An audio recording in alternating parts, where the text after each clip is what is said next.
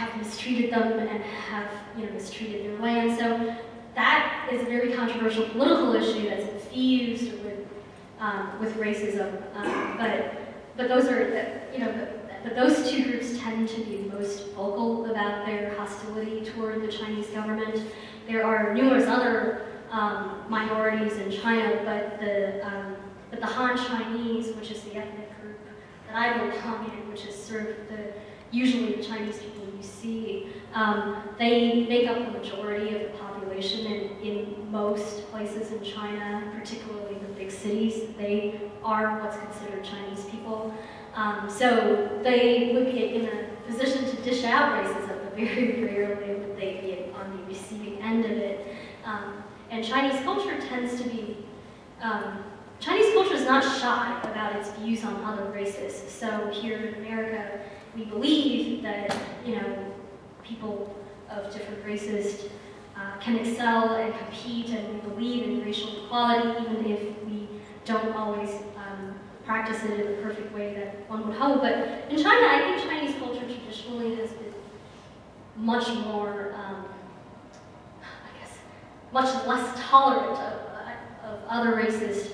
Uh, this doesn't mean that it, it, well, I mean, Chinese culture is premised very much on this idea of superiority, you know, that it has a grand civilization, it has a glorious history, and that there are a lot of cultures that are viewed as being somewhat, as being inferior to Chinese culture. And so there is a sense of that in, um, in, in China. Um, I think the what, you know, how it manifests in your daily interaction with people and how it manifests in policy is a very different matter, but there is definitely this sense of superiority. It's a sense of pride that a lot of people take in their own culture over there. Yes, sir. Kind of a follow-up question. Did you have the African American students in your school at your time? In China, you mean? No, not not back then. Back then, we didn't even see that many white people, let alone black people.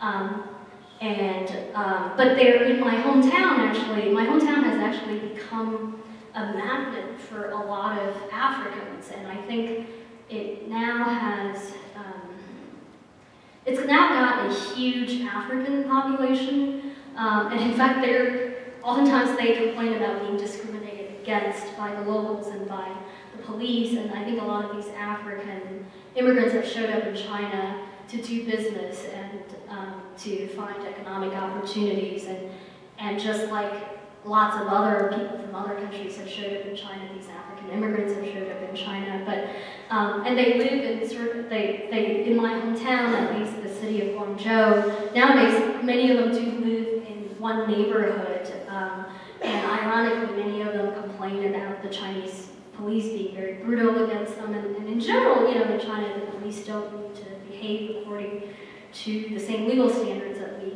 do here, so Chinese citizens regularly complain about the police being brutal too. Um, but, um, but when I was a kid, I didn't really see those, I, I, I don't think I saw the first black person in my life until I showed up in of Oakland, California.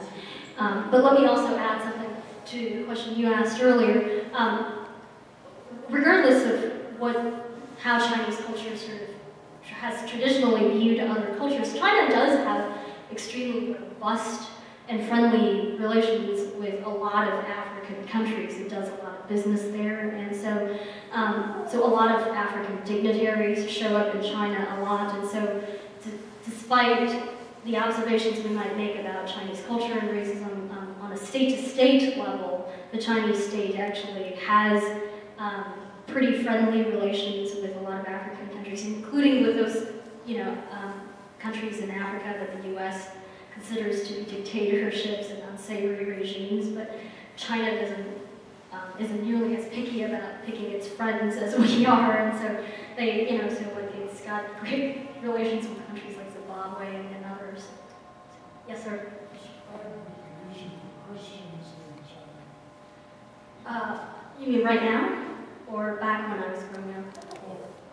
Uh, I grew up as communism as my, with communism as my religion, um, and that was the case for most other people. Um, this doesn't mean that people didn't harbor closet beliefs, it's just that um, communism considers religion to be dangerous and unscientific, and that was, you know, and during the Cultural Revolution and also during the years prior to that, the communist regime did a lot to try to stamp out religion and to, to persecute religious believers. Um, over the past 30 years or so, religion has undergone a huge revival. Uh, so you can, you know, so you've got um, a significant increase today in Buddhist believers, Taoist believers, um, Christian believers. Um, I guess the only thing that really hasn't increased, I mean, the, the only thing, group that um, hasn't really undergone any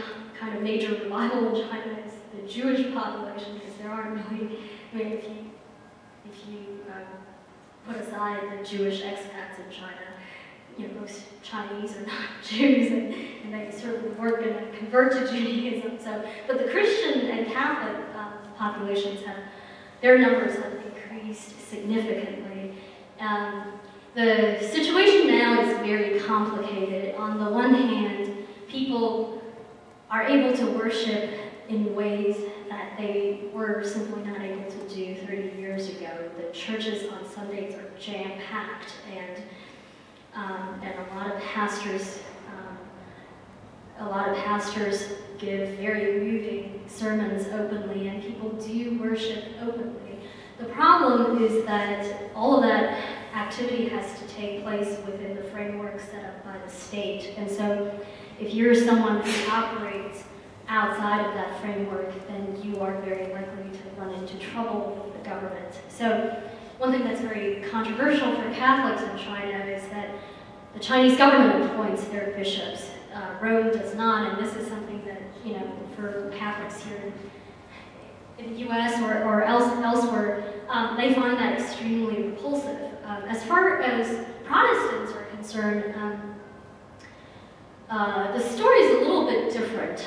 So a lot of Protestants do worship at churches um, that are registered with the state, and then it's a way for the state to keep track of what the churches do. And a lot of these churches do, you know, provide, um, you know, they provide church services. They, they operate, although on the surface it looks like they operate no differently from regular church, but there are a lot of activities that they can't do. Um, and if you decide that you don't want to belong to a church that's sanctioned by the state, and there are, um, there's this movement in China for a lot of regular citizens where they belong to these things called underground churches or house churches, and, um, and a lot of people tend to gather together at someone's house to read the Bible, to worship, um, and they feel that for a lot of these believers, they feel that it's better to do it that way rather than to do it at a state-sanctioned church. And um, and people who are in this group, in this category, tend to run into a lot more trouble with the state. Um, uh, the government doesn't like having a bunch of people operating outside of its purview. Um, it won't necessarily throw you in jail every time you go to one of these house churches, but there are a lot of these house churches that are that are um, that are persecuted, that are watched or targeted by the state. Um, I don't. It's hard for me to say how systematically they go after these house churches, but it's definitely a problem. And in fact, about a month ago, or maybe not even a month ago, um, one of the prominent leaders of that house church movement um, uh, came to the United States on a self-imposed exile. He is a very famous, famous writer in China. In fact, 10 years ago, when his books were being sold widely in China, I used to purchase his books at bookstores um, and read them. But then over, in, over the years, he converted to Christianity. Um, he's someone who doesn't really like other people telling him what to think, and um, for a, he's also a pro-democracy activist, and so for a whole host of reasons, he after he converted, he started participating in these things that are called house churches. And, and that became a big problem because not only was he persona non grata because he was advocating democracy, he was writing all these nasty articles about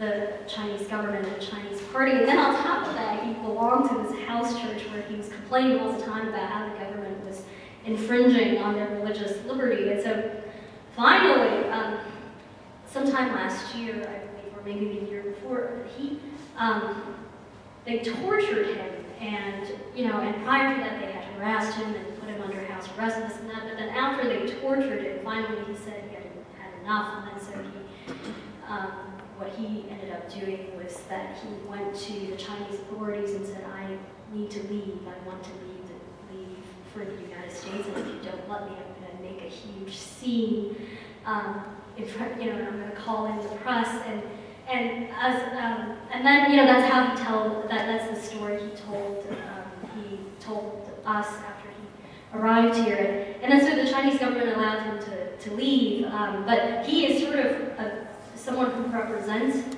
the Christians, a lot of the Christians in China, you know, even though there are Christians who would much rather not go through that kind of um, that kind of abuse and that kind of trouble, and you know, most people don't want to subject themselves to torture if they don't have to, but you know, um, but he's sort of someone who represents a Christian as well as a democracy activist who just won't, he doesn't, you know, he, he won't who doesn't want to submit to the reign of the Chinese Communist Party. Um, and I think that, you know, a, a, lot of Christians in China look to him um, and have applauded his efforts. Yes? Have you been back to China? I have. I used to go back quite a bit. At one point, um, um, at one point I lived in Hong Kong um, after I graduated from college, so I used to go back across the border every weekend or two. Um, and then over the years, uh, I've spent a lot of time working on China issues too, and so that's taken me back quite often. These days, I go back a few times a year. Yes? How did you get hooked up with the Heartland Institute? Oh, I know a friend there, and um, and I write a lot about the free market and are a free market think tank, and so things just fell together. I'm just curious about, I know you talked a little bit about the one-child policy in your book and your aunt and some of the different things, but do you see things shifting at some point in China, especially with effects on like the male-female ratio and everything that's, and the, and also the ratio of young people to old people as they're living?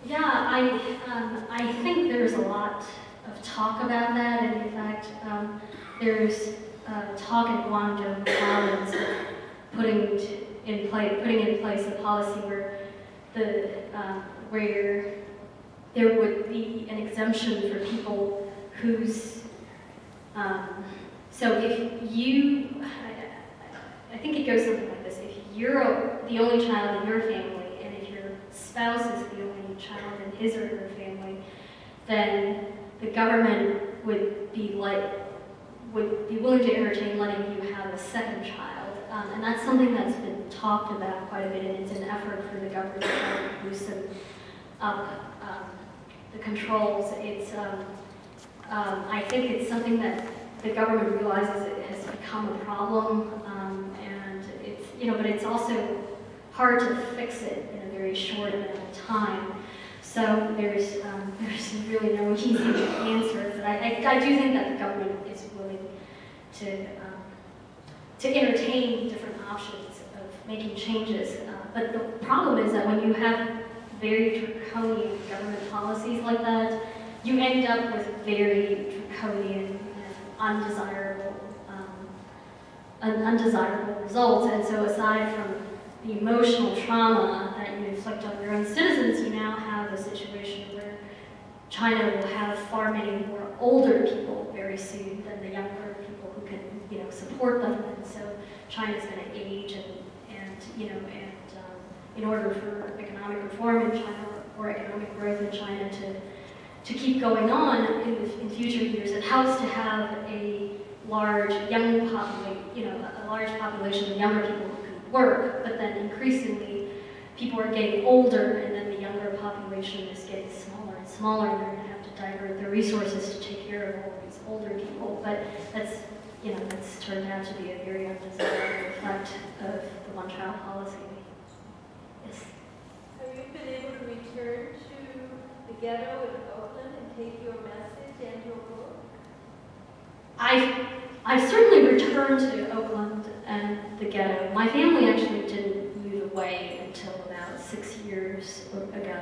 Um, I left for college when I was 18, but I, you know, my family stayed behind, um, and then I continued to return whenever you know I had a vacation from school or holidays from work or, or whatever. Um, we, and, and I talk about this in the book too, I talk, sort of talk a little bit about um, the decision I made to, to help my family move away.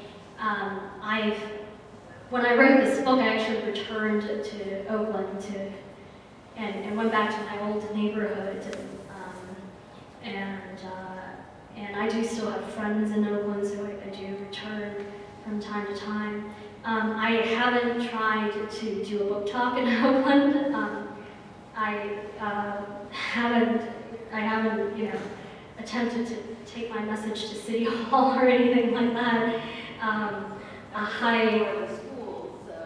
Not yet, not yet. Um, I mean, I thought that one most, a most natural place for me to go would be my high school, and uh, and I, it's, I haven't been most aggressive about getting that opportunity, and um, I, I think Oakland over the years has changed a lot too. It's not nearly as dumpy as it used to be. Um, I give Governor Jerry Brown a lot of credit for much of the work that he did when he was mayor of Oakland, and you know, a lot of the things that he did to re, to help the city sort of undergo a gentrification process and, and all that.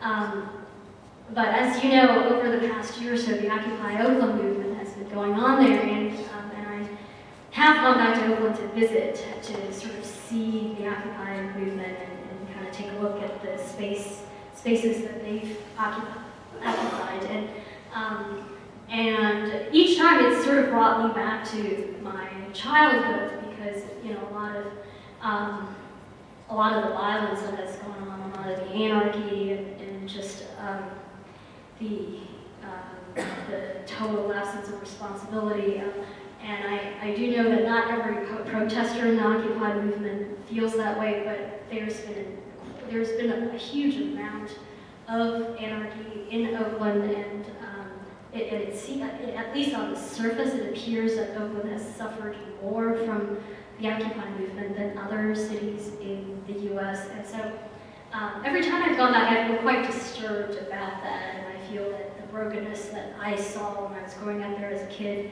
continues to plague the city, and it's really too bad because I know that you know a lot of politicians and, and a lot of regular citizens in Oakland have tried to, to make the city a better place. And downtown Oakland, for instance, is a place that they a lot of people have tried to um, um, have, have tried to um, to rejuvenate and, and you know and then it really takes a, a movement like that has actually had a very dire effect on local businesses. Jobs have been lost. Um, police resources have been diverted from a city that's already pretty unsafe, and um, um, and you know, and, and it's really just too bad. Yes, sir.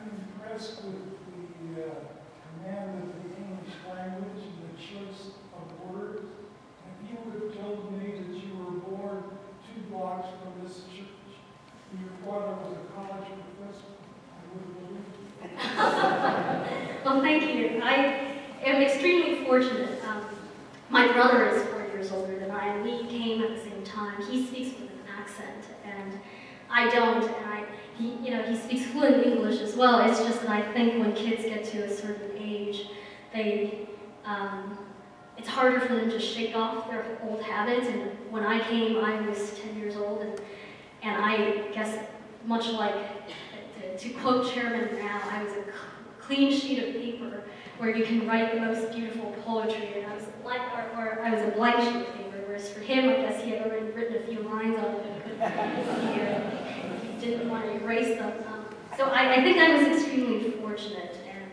um, um, I had always liked books when I was little, and I always enjoyed reading, and I think that helped a lot as I was learning the English language because it wasn't just a chore; it was actually very rewarding for me to to read in another language and to learn, and, and so I think um, that helped a lot too. Yes, sir. Uh, One of the things I've gathered a big part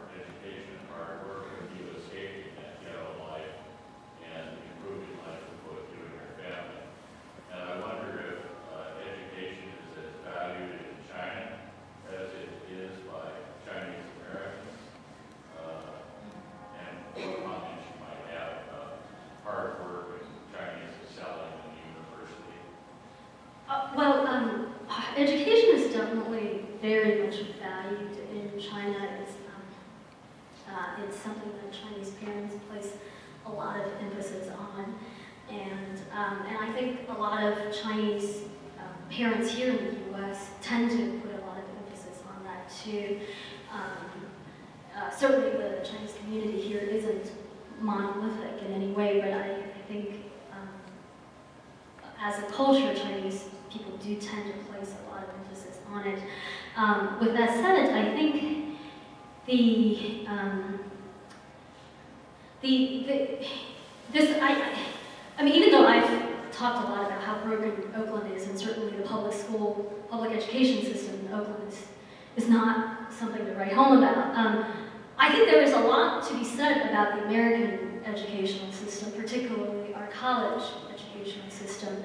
Um, even though Chinese parents do place a lot of emphasis on education, much like I think a lot of other parents in Asia do, like the Japanese and the Koreans, for instance, also um, prize education and, you know, tend to drive their kids to near insanity to make sure they get the best grades and all that, right? So I think the Chinese, you know, certainly aren't unique on that front, but I think in a lot of these Asian countries, um, the education isn't nearly um, as, um, it's, it's not, on some levels, it's not nearly as effective as what we have here. There's a lot less um, emphasis on free thought.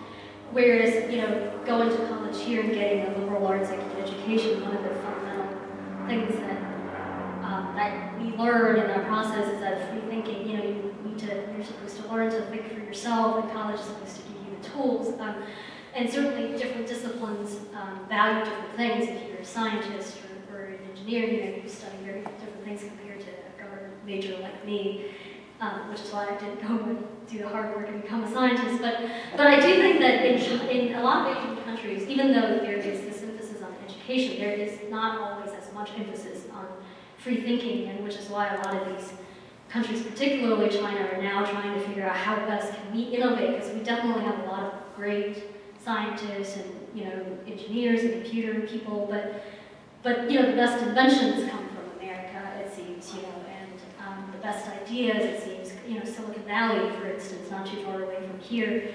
Um, it is a hotbed of ideas, and people execute those ideas and turn them into multi-billion dollar companies. And and I think, you know, and I, I think that says a lot about our education, educational system too. Um, and, you know, and, and someone like Mark Zuckerberg or Bill Gates, both of whom dropped out of college, they now are, you know, two of the most successful people you see. Um, that says a lot too, you know, the lack there, the ed education or the lack thereof does not, you know, prevent you from becoming successful in America or worldwide. And, and I think that's something that other countries like China are beginning to look at a lot as well. Um, uh, on the question of Chinese here in America, one of the things, and I'm grateful to you for asking the question, even though you may not have asked it for that reason, but one of the things I actually really hate is that book by Tiger Mother. Um, I don't know how many of you are familiar with it. Um, and I hate that book because um, first of all, I don't think that Chinese parents are necessarily that extreme. She is a very extreme example of someone who calls herself um, a follower of the method of Chinese parenting. But, um, but there's also something really problematic with making sure that your kids only do certain things well, right? So I talked about Jeremy Lin earlier. If he um, had been a son of Tiger Mother, he would have never achieved his basketball greatness because she wouldn't have allowed him to play basketball. Her daughters were told to play the violin and,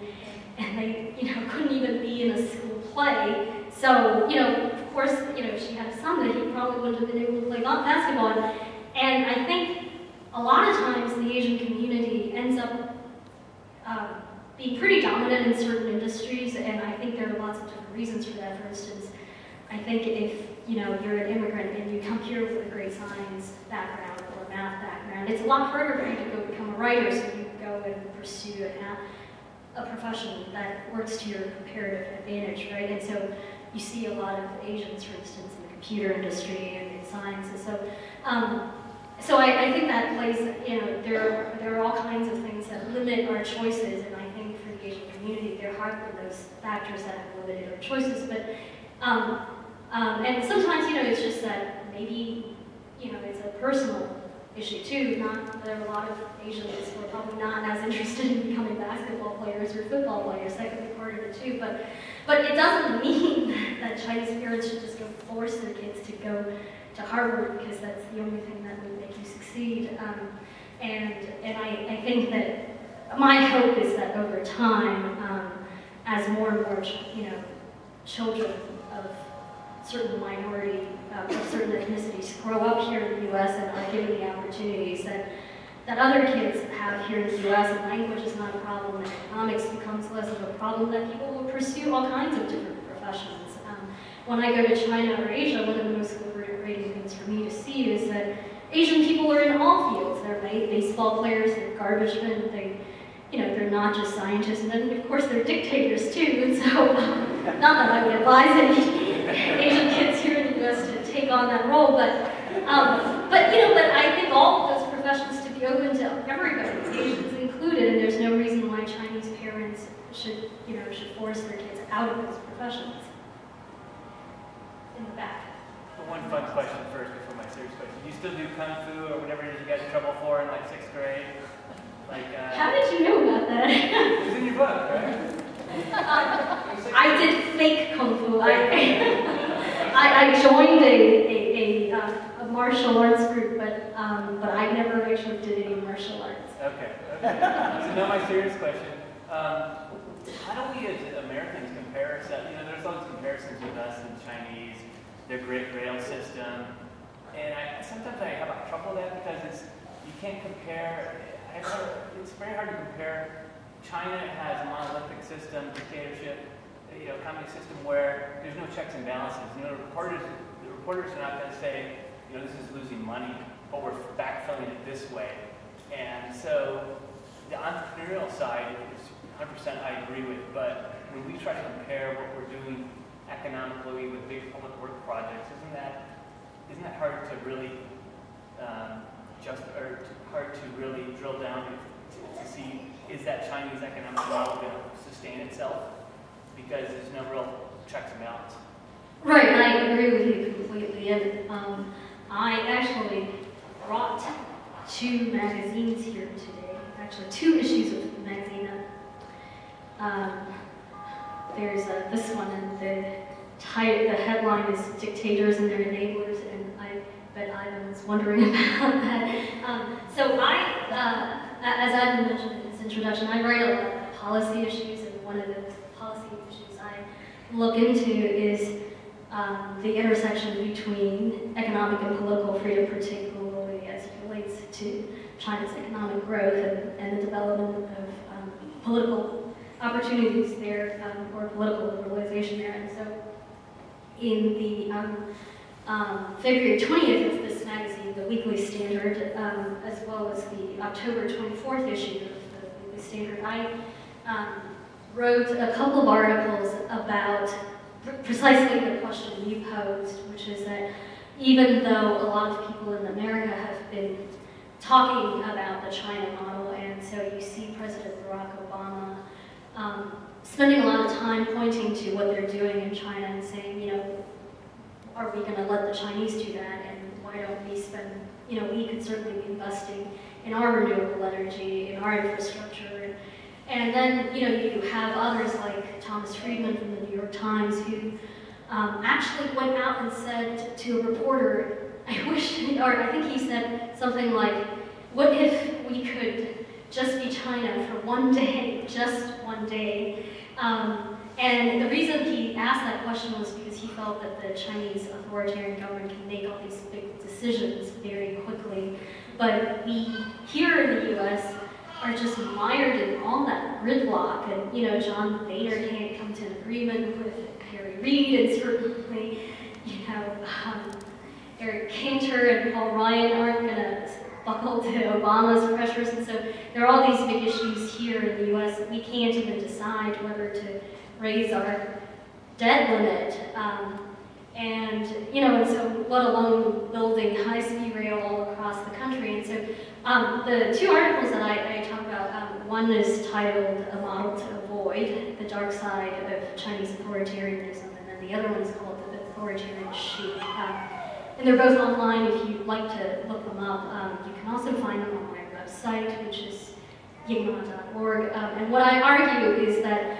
the way that China has gone about um, promoting its economic growth, it actually imposes a lot of economic inefficiencies. It's just that a lot of us here don't see those inefficiencies, and, and there's also a, a tremendous amount of human cost that um, that we don't personally feel and that the Chinese government often tries to hide. And so let me just give you a couple of examples. Um, the high-speed rail uh, uh, project, for instance, for a long time we were, you know, a lot of people here in the U.S. seemed very disturbed that China built this incredible high-speed rail system in, um, in about seven years or so. It's now the largest system in the world. And, um, at one point they had trains that traveled at at speeds higher than anywhere else in the, in, in the world. Um, and um, what we didn't really talk about, even though it was actually quite obvious in China, was that there was endemic corruption because they operated in, in a system that didn't have checks and balances. Um, there were serious safety concerns because the rail ministry was given a whole bunch of money to pursue this big project and and, um, and the Chinese government saw the project as a sign of national pride and, and national prestige, and so they rushed through a lot of these um, construction projects and high-speed rail projects, but then safety and um, um safety ended up some, be, becoming something that took a toll, and um, you know, and so as a result of this onslaught of funds, a lot of state-owned enterprises ended, ended up getting a lot of benefits. Um, but the private sector, for the most part,